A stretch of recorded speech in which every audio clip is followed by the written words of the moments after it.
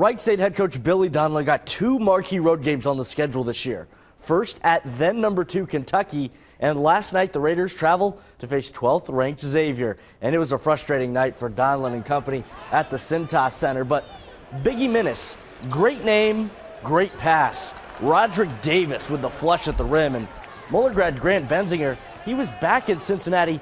He was trying to make the most of it, averaging 10 points per game, but he was limited to only six tonight. But as they say, give the people what they want. And everyone wants more Biggie Minnis.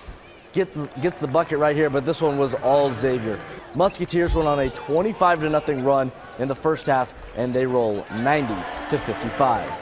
I think, look, I think you always, as a coach, you got to do the best you can to grade the shot, the caliber of shot, and who's shooting it.